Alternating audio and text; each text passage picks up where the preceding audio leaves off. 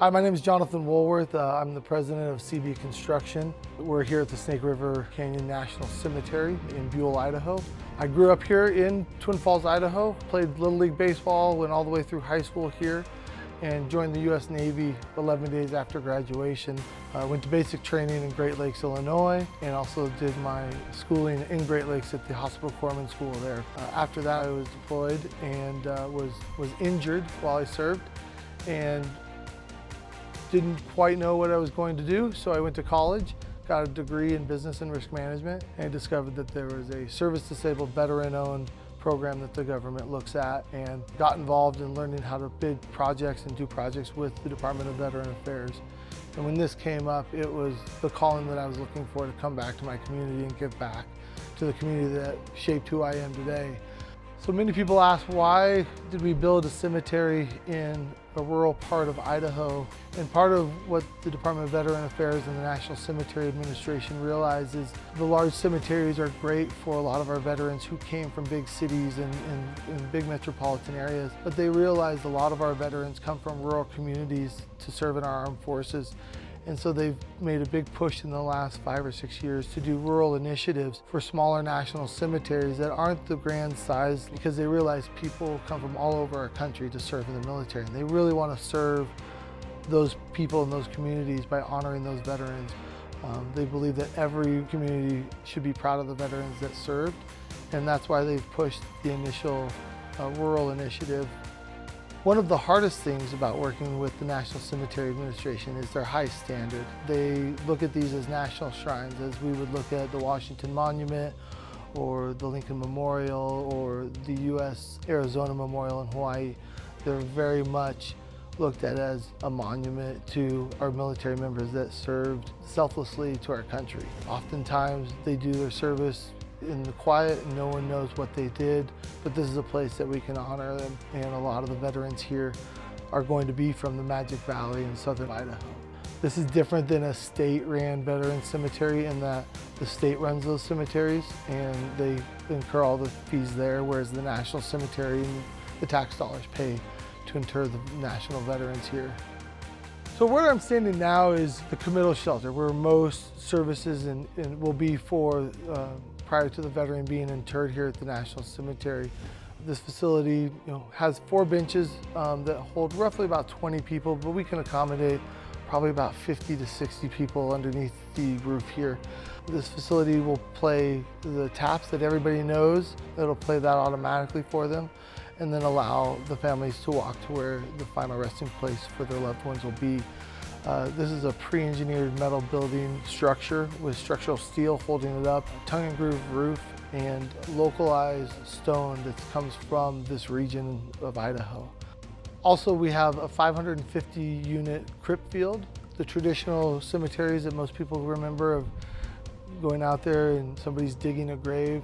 Federal government has found a more efficient way is pre-digging concrete boxes in the ground where veterans can be laid to rest with their husband or wife, and their headstones are on top, um, six feet apart, just like always.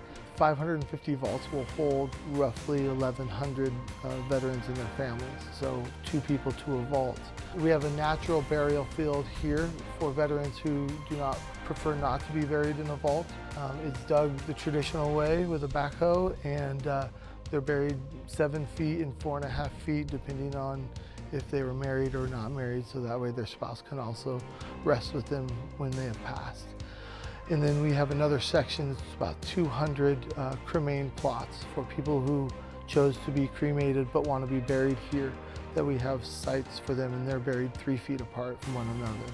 Uh, additional facilities that we have is a columbarium. Traditionally, most people would think of them as a mausoleum where the actual ashes of veterans go into and their loved ones can go in there as well and they'll have an inscripted granite stone with their service and date of birth and passing. And then we have a memorial wall that's, that's roughly about 100 units that allow people who are buried maybe outside of here who passed away in battle and they weren't recovered, they can go on the memorial wall for veterans and family members to remember them by. Uh, out of the eight acres that was developed here, we only touched on about three and a half of the acres. So this is meant to be a building process and a growing monument to those veterans that served. So if you come out here and you see land that's not developed, knowing, wondering why, it's for future development, uh, the Department of Veteran Affairs expects to develop another section in about eight to 10 years when, or when capacity is required or, or needed. One of the other unique things at every national cemetery is the Gettysburg Address that Abraham Lincoln wrote. The cast iron that it's actually cast from are two Battle of Gettysburg cannonballs. And that's at every national cemetery. It is a historical monument with historical materials Working with the National Cemetery Administration has shown me um, a, great deal of appreciation for the, for the men and women that not only serve our country, but also the men and women that see to it that our veterans are placed in some of the most beautiful places in our country.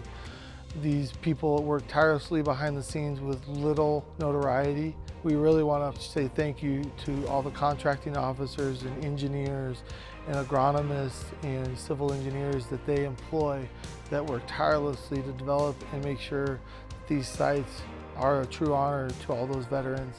Uh, so I feel really honored that uh, I was able to come back to where I grew up and give something back. That was really important to us. The other part that really made me proud was we were able to serve a lot of small businesses here locally that did a lot of the road work and cement work and the rock work and the roofing.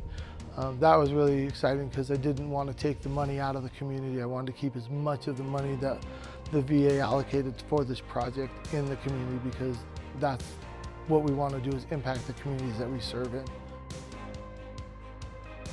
And when you come out to the National Cemetery, understand you're standing on grounds of giants, of people who've served before us and laid down their lives so all of us could have the freedoms that we enjoy.